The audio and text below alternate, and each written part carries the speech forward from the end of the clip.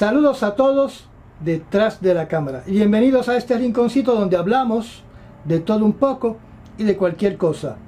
Y aquí usted se entera de asuntos que los noticieros televisivos prefieren ignorar. Debido a lo que salió a la luz pública después que hablé del presidente John F. Kennedy, es forzado que hable un poco más de este controversial tema. Pero primero, repasemos lo que dije la vez anterior para refrescar la memoria y poner al día a los que no tuvieron la oportunidad de ver la charla anterior, donde dije lo siguiente. En Estados Unidos el presidente Biden no sacó a la luz pública los documentos restantes referentes al asesinato de John F. Kennedy. Como sabemos, el expresidente Donald Trump sacó a la luz pública 34.813 documentos y más tarde 18.731, todos ellos con muchas partes tachadas, pero los que alegan que han podido analizar dichos documentos dicen que no reflejan una participación ni de Rusia ni de Cuba, pero sí que Lee Harvey Oswald estuvo bajo vigilancia por el FBI. Recordemos que en aquel entonces Edgar Hoover, director del FBI, mandaba a vigilar a toda persona asociada o ligada al comunismo. Así que por ende había muchas personas en aquel entonces que el FBI estaba observando. Han pasado tantos años que ya muerto Fidel que una participación de Rusia, Cuba, la mafia y el mismo Lee Harvey Oswald sería inconsecuente sin ningún efecto en este momento. Lo que sí podía estremecer a Estados Unidos es si la muerte de John F. Kennedy fue una especie de golpe de Estado y que los autores fuesen la CIA, el propio FBI, el Pentágono, una rama del ejército o hasta miembros del partido contrario. Así que tendremos que seguir esperando para que hagan público miles de documentos que supongo que también estarán tachados ocultando la verdad. Después de esta charla surge información adicional cuando una persona de nombre Ricardo Morales Jr.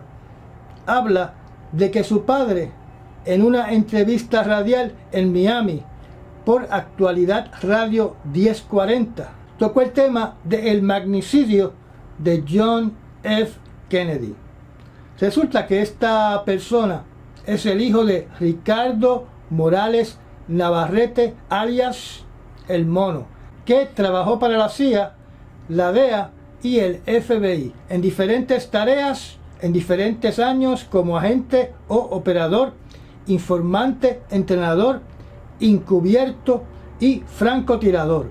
Además, su nombre está en la lista de los miembros del grupo Operación 40, formado bajo el presidente Ike Eisenhower, cuya función principal según está escrito, era hacer operativos en contra del gobierno de Fidel Castro. Este era un grupo entrenado para dar golpes de Estado y alegadamente eliminar a personas de interés. Algunos se refieren a ellos como el grupo de asesinos de la CIA. Entre ellos está el famoso coronel Félix Rodríguez que fue enviado a Sudamérica para localizar al Che Guevara. Según cuenta el hijo de Morales, este tuvo una premonición, un presentimiento que lo iban a eliminar debido a todos los operativos en que estuvo envuelto, lo que conocía de la CIA y de operativos negros y por los enemigos que había creado. Su hijo en ese momento aprovechó y le hizo la pregunta si él había participado en la muerte del presidente John F. Kennedy. Y este contestó que no. Pero, pero, y un largo pero, él dijo que le habían ordenado a él y a su cleaning team o grupo de limpieza estar en Dallas durante la visita de John F. Kennedy, donde estuvieron dos días sin hacer nada y después del magnicidio lo mandaron a él y a su unidad a Miami. Dijo que él nunca supo por qué lo enviaron a Dallas, ni tampoco por qué lo enviaron a Miami después del magnicidio. De las películas que hemos visto en Hollywood, interpretamos que un cleaning team o un grupo de limpieza es aquel que va a una localización a borrar toda evidencia de una operación clandestina, incluyendo eliminar a posibles testigos. Y ahora viene la parte para pelos. Su padre le dijo que lo que a él le sorprendió es que Lee Harvey Oswald fue estudiante de él en uno de los cursos que él daba para entrenar a francotiradores en una instalación de la CIA. Este relato concuerda con otros rumores que otros miembros del grupo Operación 40 estuvieron en Dallas durante el magnicidio de John F. Kennedy. Un dato que deben conocer es que el hijo de Ricardo Morales indica que su padre le dijo que Lee Harvey Oswald no tenía ningún talento para ser francotirador. O sea que no había forma de que Lee Harvey Oswald hubiera sido exitoso en dispararle a John F. Kennedy.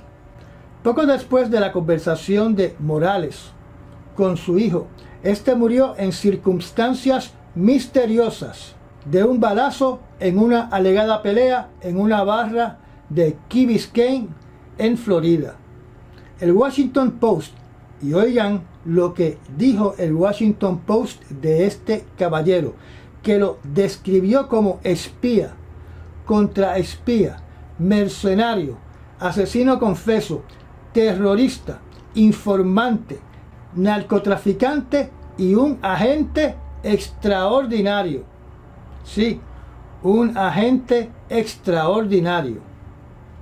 Pero también tenemos que mirar quién era el jefe de Morales, el director de la CIA llamado Allen Dulles, el director de esa agencia más longevo, que era un republicano fundamentalista, arquitecto del golpe de Estado que puso en el poder al Shah de Irán en el año 1953 y después el golpe de Estado en Guatemala del año 1954.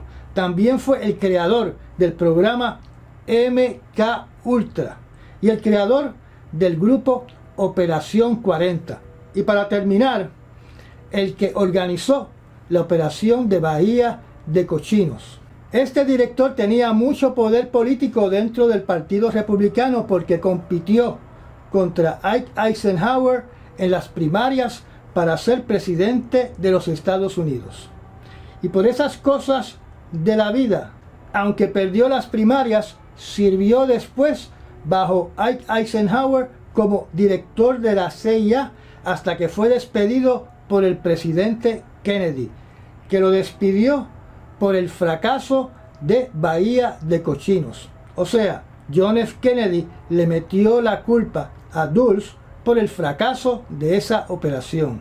En ese momento histórico, es mi opinión personal, que John F. Kennedy se ganó otro poderoso enemigo que tenía muchas conexiones dentro de la CIA y en otros grupos contratados por la CIA como el grupo Operación 40.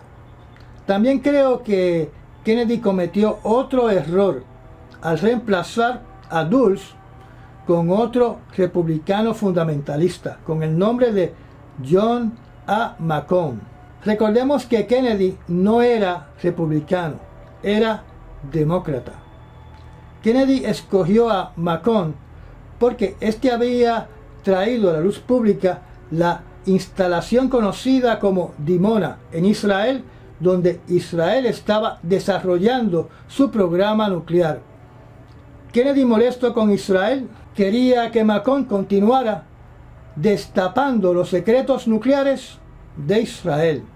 Supongo que esa acción le creó a Kennedy más enemigos dentro del gobierno de Israel y naturalmente dentro de los amigos de Israel en el gobierno de Estados Unidos. Como sabemos, la Comisión Warren determinó en corto tiempo que Lee Harvey Oswald actuó solo y que fue el único autor de la muerte de John F. Kennedy. Pero, pero, pero, tenemos que reconocer, Warren era otro republicano fundamentalista que no se llevaba bien con el presidente John F. Kennedy y el director de la CIA despedido por Kennedy, Allen Dulles, también era miembro importante de la comisión Warren. Del grupo Operación 40 solo queda con vida el republicano amigo de George W. Bush, el coronel Félix El Gato Rodríguez. Tal vez quién sabe si en los 15.000 documentos que Biden no quiere sacar a la luz pública se mencione a este grupo. Si lo que le dijo Morales a sus hijos es cierto, hay una conexión entre Lee Harvey Oswald directa con el grupo Operación 40 y la CIA.